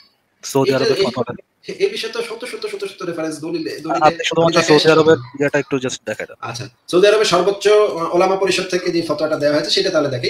ইনফ্যাক্ট এই বিষয়ে আমার এত দলিল আছে যে দলিল দেখা আমি এক মাসে শেষ করতে পারব না। তো আমি তাহলে শুধুমাত্র সেটা দেখাচ্ছি যে ফারাজ ভাই যেটা বলেন যে সৌদি আরবের গ্র্যান্ড মুফতি বিন বাজ এবং আব্দুল আজিজ তারপরে হচ্ছে গিয়ে ইয়া আপনার এই যে সালে আল এদের দ্বারা সপ্তাহিত যে ইয়াটা ফতোয়াটা ফতোয়া নাম্বার হচ্ছে আঠারো হাজার সাতশো চৌত্রিশ নম্বর ফতোয়া এই যে সরাসরি ওয়েবসাইট থেকে আপনারা দেখে নিতে পারেন। এখানে পরিষ্কারভাবে বলা হয়েছে যে thus it is permissible to contract the marriage of an immature girl and consummate it consummate মানে হচ্ছে যৌন সম্পর্কের মাধ্যমে বিবাহকে বৈধতা প্রদান। মানে যৌন সম্পর্ক করাটাও যেরকম বৈধ বিয়ে করাটাও যেমন যেরকম বৈধ যৌন সঙ্গম বৈধ। ভাই প্যারাটা একটু পড়েন প্লিজ ভাই। The prophet peace be upon হিম এটা আপনি আপনি পড়েন আপনি পড়েন the prophet peace be upon him Ayesha may peace be upon her when um, while she was six years old যখন তার ছয় বছরের যখন সে ছয় বছর ছিল তখন তার সাথে বিয়ে করছে। He consummated the marriage in al Madina সে ম্যারেজটা কনজিউমেট করছে তার মানে তার সাথে যৌন সঙ্গম করছে when she was nine years old মানে তখন যখন তার নয় বছর বয়স ছিল। Actually this is not particularly just for him এটা শুধুমাত্র তার জন্য না। কি তার জন্য না? নয় বছরে, ছয় বছরে বিয়ে করা এবং নয় বছরে যৌনসঙ্গম করা, এটা তার জন্য পার্টিকুলার না, শুধু তার জন্য না। Thus it is permissible to contract marriage of an immature girl and consummated অর্থাৎ একটা এটা পারমিসেবল একটা ইমেচুর মেয়েকে বিয়ে করা এবং তার সাথে যৌন সঙ্গম করা। কার রেফারেন্স দিয়ে বলা হচ্ছে? এখানে নবী এবং আয়েশার কথা বলে বলা হচ্ছে যে সে ছয় বছরের একটা মেয়েকে বিয়ে করছে এবং নয় বছরের যৌন সঙ্গম করছে। তাদের মতেই তাদের হায়েস্ট অথরিটি মানে এখনকার হায়েস্ট অথরিটির মধ্যেই নবীর যে বিয়ে করছে এবং শেষ করছে তখন সে নিজেই ইম্যাচিওর মেয়ে ছিল। তাদের নবীর রেফারেন্স দিয়ে বলতেছে তারা যে it is permissible to consummate contract marriage of an immature girl and consummated অর্থাৎ নবীর কথা বলে বলতেছে। মানে একটা ইমেচিউর মেয়েকে তারা বিয়ে করতে পারবে এবং যৌনসঙ্গম করতে পারবে। ফারাজ ভাই আমি আপনাকে একটা জিনিস ফারাজ ভাই এবং আমার একটা আমার একটা প্রশ্ন ভাই। এই যে তারা যে রেফারেন্স দিল নবী এবং আয়েশার ওই রেফারেন্স অনুযায়ী কি আয়েশাকে যখন যৌনসঙ্গম করল তখন কি তাকে ইম্যাচিউর বলা হচ্ছে না ম্যাচিউর বলা হচ্ছে? অবশ্যই ইমেচিউর বলা হচ্ছে। তারা নিজেরাই তো বলতেছে আয়েশা তখন ইমেচিউর ছিল। দ্যাটস ইট ভাই এতটুকু তারা তো লুকোছাপা করতেছে না। লুকোছাপা তো করতেছে হচ্ছে যে ইসলামের আলো ভাইদের মতো যারা আছে বা এই টাইপের ভাইরা যারা আছে, তারা লুকোছাপা করতেছে। মানে ওদের কোনো ইয়া নেই, বিকার নেই। ওরা বলে দিচ্ছে যে ঠিকই ঠিকই আছে হ্যাঁ? এখন ইসলামের আলো ভাই, আপনি একটু আনমিউট করে আমাদেরকে বলেন।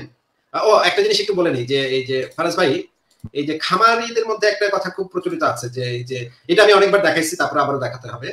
যে, খেয়ারুল বুলুগের কথা তারা বলে, যে, যদি একটা মেয়ের নাকি এই অপশন থাকে, যে পিতা যদি তাকে বিয়ে দেয়, এটা আমি অনেক নাস্তিকের ভিতরে আমি শুনতেছি ইদানিং। অনেক নাস্তিকও বলতেছে যে পিতা, এই মেয়েটা নাকি এই অপশন থাকে প্রাপ্তবয়স্ক হওয়ার পর বিয়েটা বাতিল করে দেয়। এই জিনিসটা আমি অনেক নাস্তিকের মুখ থেকে শুনছি, কিন্তু এটা সত্য না। আমি আপনাদেরকে যে দলিলটা দেখাচ্ছি, সেটা আকামুল কোরআন থেকে দেখাচ্ছি। আকামুল কোরআন, আপনারা নিশ্চয়ই জানেন আকামুল কোরআন অত্যন্ত গুরুত্বপূর্ণ একটা গ্রন্থ। এটার অনুবাদক হচ্ছে মাওলানা মোহাম্মদ আব্দুর রহিম খায়রুল প্রকাশনী, তৃতীয় খণ্ড পৃষ্ঠা একশো একত্রিশ। এখানে যে জিনিসটা লেখা আছে সেই জিনিসটা আমি আপনাদেরকে একটু করে শোনাচ্ছি। যে এই নিয়ম তাদের জন্য যাদের এখন হায়েস আসতে শুরু করেনি, এই সুরা তালাকের চার নম্বর আয়াতটা। অতএব হায়েজ হয়নি এমন অল্প বয়সী মেয়েকে তালাক দেওয়া সহি হবে। আবার বলি, অতএব হায়েস হয়নি এমন অল্প বয়সী মেয়েকে তালাক দেওয়া সহি হবে। আর তালাক তো সহি বিয়ের ক্ষেত্রেই হতে পারে। তাই এ, তাই আয়াতের এ তাৎপর্য রয়েছে যে, অল্প বয়সী মেয়েকে বিয়ে দেওয়া সম্পূর্ণ যায় এছাড়া বাস্তব প্রমাণ হচ্ছে, রাসুল সাল্লাহ সাল্লাম আয়সাকে বিয়ে করেছিলেন, তখন তার বয়স ছিল মাত্র ছয় বছর। আর পিতা আবু বকর তাকে বিয়ে দিয়েছিলেন। এই ঘটনা দুটি তাৎপর্য।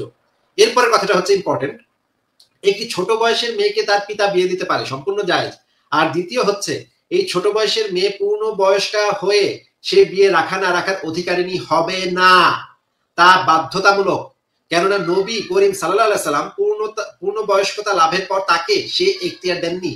মানে এই কথাটার মানে হচ্ছে ফারাজ ভাই এবং ইসলামের আল ভাই, এই কথাটার মানে হচ্ছে যে একটা ছোট মেয়েকে যদি তার বাবা যদি বিয়ে দেয়, অন্য কেউ না, অন্য কেউ হলে কিন্তু এই রুলটা হবে না। অন্য কেউ যদি বিয়েটা দেয় ওয়ালি যদি চাচা থাকে মামা থাকে ফুফা থাকে তখন খেয়ারুল বুলুকটা প্রয়োগ হবে। মানে তার হচ্ছে গিয়ে প্রাপ্তবয়স্ক হওয়ার পরে সে সেই বিয়েটাকে বাতিল ঘোষণা করতে পারবে। কিন্তু যদি তার নিজের পিতা যদি তাকে বিয়ে দিয়ে থাকে ছোট বয়সী মেয়েকে এর মাঝখানে কিন্তু যৌন সঙ্গম রকম সব হয়ে যাবে কিন্তু হ্যাঁ? যৌন সঙ্গমে কিন্তু কোনো বাধা নেই। বিয়ের পরে কিন্তু যৌন সঙ্গমে কোনো বাধা নেই। হ্যাঁ এটা এটা একটা প্রতিষ্ঠিত বিষয়। বিয়ে ইসলামে বিয়ে জিনিসটাই হচ্ছে নিকাহ চুক্তি মানে হচ্ছে যৌন সঙ্গম চুক্তি। চুক্তি হয়ে যাওয়ার পর এক সেকেন্ড অপেক্ষা করার কোনো স্কোপ নেই। আপনি এই মানে কবুল পড়ার পরেই আপনি সেক্স করতে পারবেন। এই বিষয়ে ইসলামে কোনো নিষেধাজ্ঞা নেই। কবুল বলা, সাক্ষ্য দেওয়া এবং দেনমোহর দেওয়ার পরে আপনি এরপরে আর কোনো স্কোপই নেই এটাকে থামানোর। মানে যৌন থামানোর কোনো স্কোপ নেই। আমি আপনাকে যে জিনিসটা দেখাচ্ছি যে পিতা যদি অপ্রাপ্ত বয়স্ক মেয়েকে বিয়ে দেয়, তাহলে কি হবে? তাহলে এই জিনিসটা সম্পূর্ণ জায়জ হবে এবং দ্বিতীয় কথাটা হচ্ছে এই ছোট বয়সের মেয়েটা পূর্ণ বয়স্কা হয়ে সে বিয়ে রাখা না রাখার অধিকারিনী হবে না। বিয়েটা তাকে রাখতেই হবে তা বাধ্যতামূলক কেননা নবী পূর্ণ বয়স্কতা লাভের পর তাকে সে এখতিয়ার দেননি। মানে আয়েশাকে সে এখতিয়ারটা দেননি। এই জিনিসটা কি ভাই দেখা গেছে? জি ভাই দেখা যাচ্ছে। ইসলামের আলো ভাই আপনি বলেন তো আপনি কি দেখতে পেয়েছেন যে এটা তার জন্য বাধ্যতামূলক হয়ে যায়? দেখতে পাচ্ছি ভাই। আচ্ছা এখন আমি আপনাকে শেষ একটা দলিল দেখাতে চাচ্ছি। সেই শেষ দলিলটা আপনি আপনার একটু পড়তে হবে কারণ এই দলিলটা আমি পড়তে গেলে আমার মাথা নষ্ট হয়ে যায় ঠিক আছে? আমি পড়তে পারি না। যতবার পড়তে যাই ততবার আমার মানে আমার মানে মাথাটা খারাপ হয়ে যায় হ্যাঁ? আমি পাগল হয়ে যাই এই দলিলটা পড়ার সময় আমি।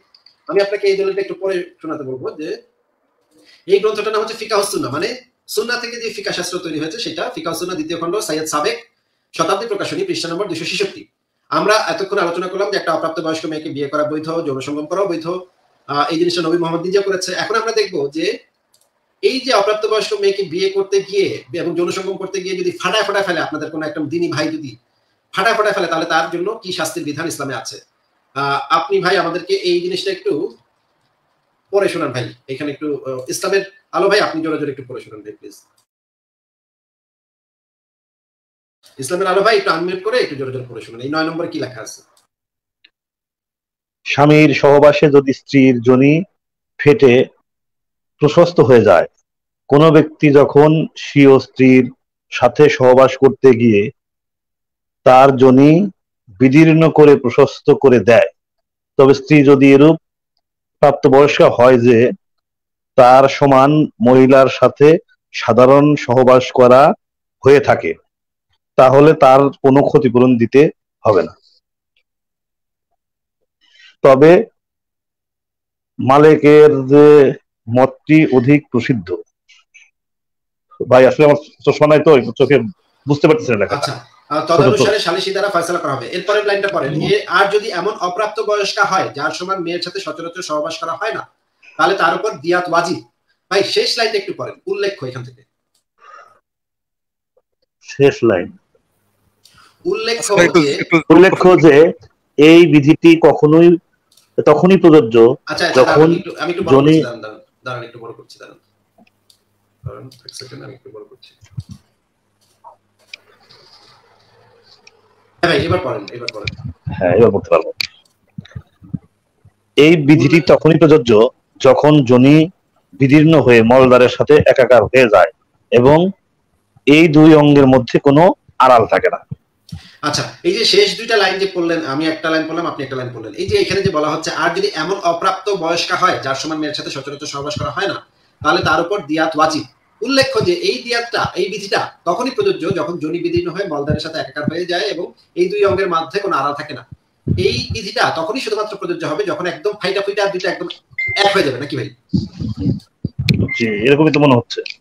আচ্ছা তার মানে অপ্রাপ্ত বয়স্ক মেয়ের সাথে যৌন সঙ্গম বৈধ বিয়ে বৈধ যৌন সঙ্গম বৈধ এবং যৌন সঙ্গমের সময় যদি হালকা পাতলা ফাইটা ফিটা দেয় তাহলে সেটার জন্য কোনো শাস্তি নাই।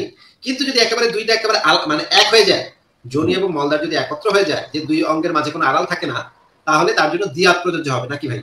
জি। এবং এটা হচ্ছে আপনাদের ইসলামের বিধান নাকি?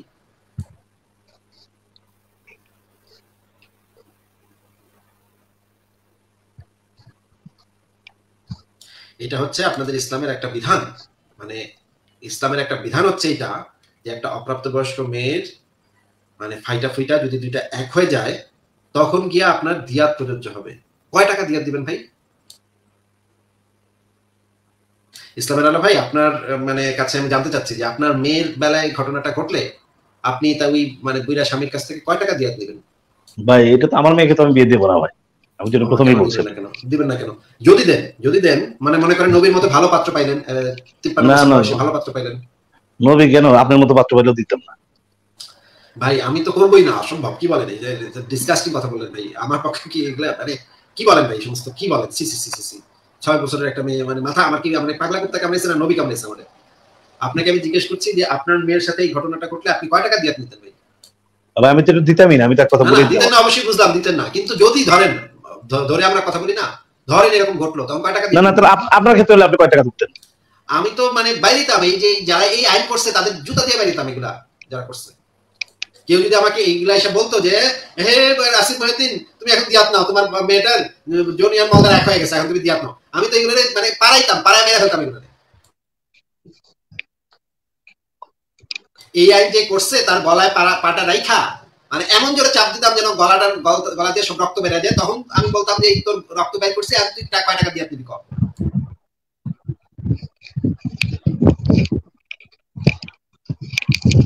মানে চিন্তা করতে পারেন যে আপনাদের ইসলামের আইন কানুনে কত বর্বর কত অসভ্য কত ইতর জিনিসপত্র আছে। এগুলো কি কল্পনা করা যায়? এগুলো কি কল্পনা? এগুলো তো কল্পনাতীত বিষয়। ভাই আমি তো আর মুফতি না যে আপনার সাথে এগুলো দিয়ে ফতোয়াবাজি করব। তো আমি যতটুকু বলছি ততটুকু আমি বলার চেষ্টা করতেছি। হ্যাঁ তাহলে আমরা যে জিনিসটা প্রমাণ করলাম যে আপনার নবী ছিল একজন ধর্ষক যেহেতু সে একটা না ধর্ষক তো আমি একমত হইনি আমি তো বললাম এটা না আপনি আপনি না আমাকে প্রথমেই বললেন যে মানে সংজ্ঞা ঠিক আছে। সাথে করলে সেটা ধর্ষণ হয় সেটা না প্রথমেই বললেন আপনি? ভাই ওটা তো ঠিক আছে কিন্তু আমি আপনাকে আমি তো আমি তো আপনাকে প্রমাণ করলাম যে আয়েশা সেই সময় ছিল তার পিরিয়ডই শুরু হয়নি। ভাই ছিল এটা আপনি দৃষ্টিতে কিন্তু আল্লাহর পাক তাকে সব দিক দিয়ে ওকে করে ফেলছে।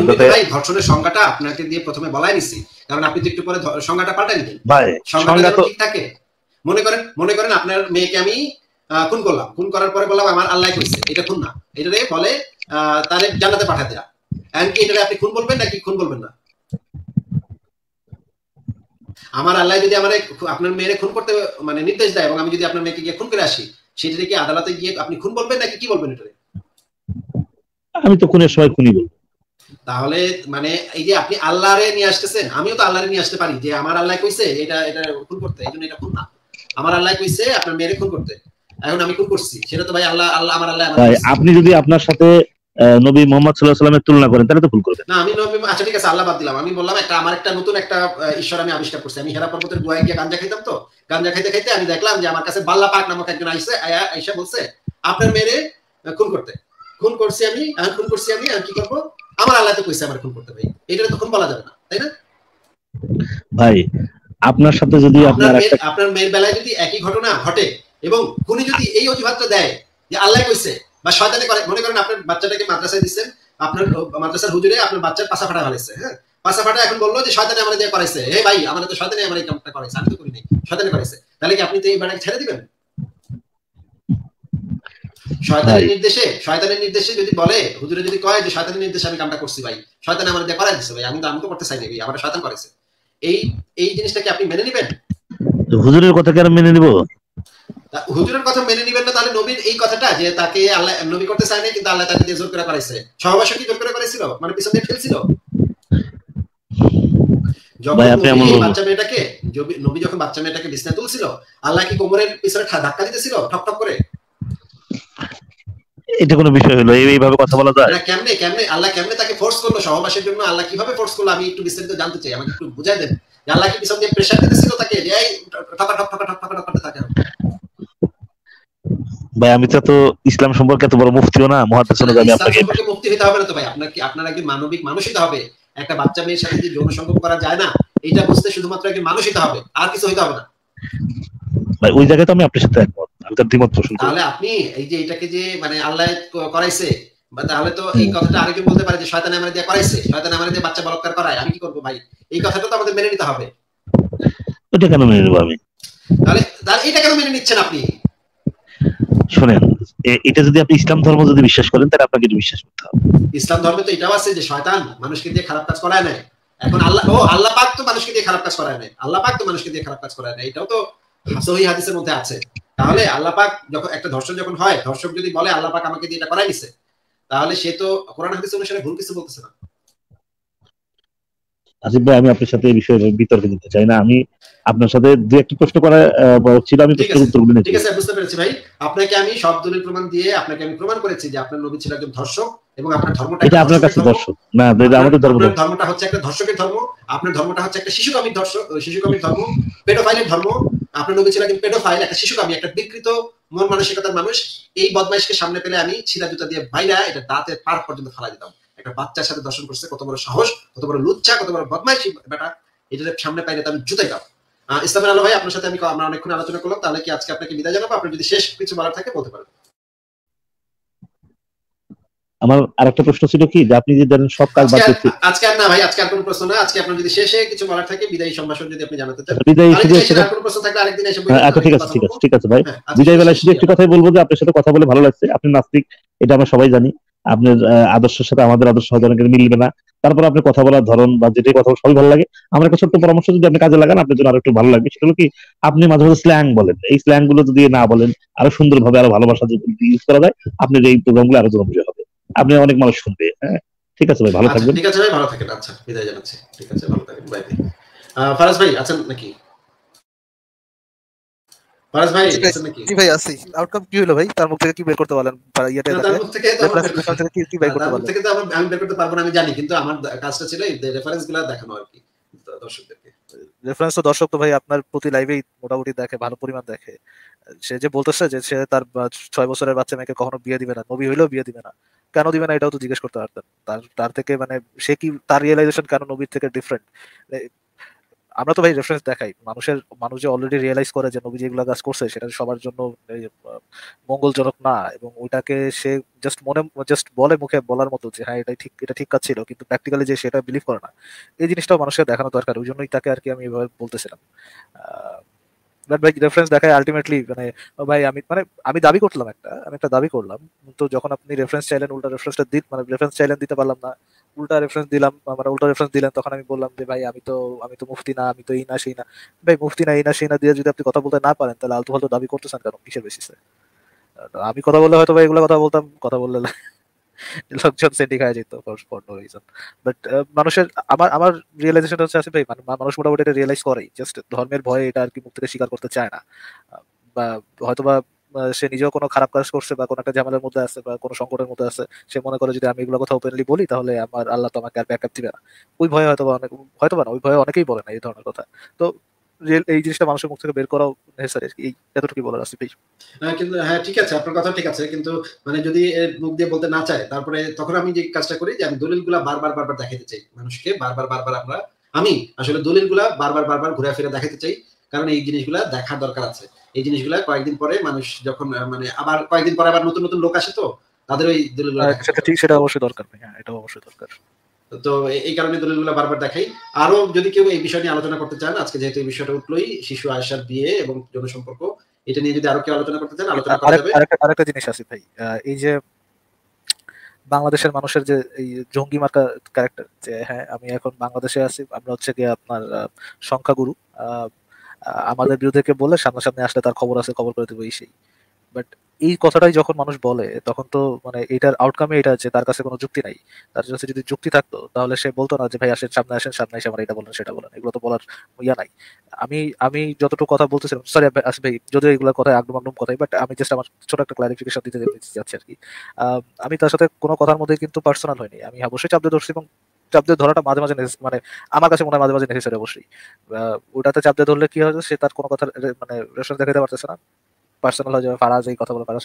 আরে ভাই, আমি কি, আমি খারাপ কথা বলছি, ঠিক আছে? বাট আমার কথাটা অ্যান্সার দেন। অ্যান্সার দিয়ে দরকার আমার দশটা গালি আমি এটা হজম করব, সমস্যা নেই। বাট পার্সোনাল মানে উত্তর দিতে না পারলে আয় আমার সামনে আয়। এইগুলো তো ভাই মানে বস্তির ছোট লোকের মতো কথাবার্তা। বস্তির ছোট লোকের মতো কথাবার্তা না বলে একটু সভ্যভাবে আপনার যদি আসলে কোনো রেসপন্স থাকে, তাহলে সভ্যভাবে দেওয়ার চেষ্টা করেন। আসি ভাই এতটুকু বলা শেষ। ঠিক আছে ভাই, আপনি তাহলে যুক্ত করেন একজনকে। আমি একটু ঘুরে আসি।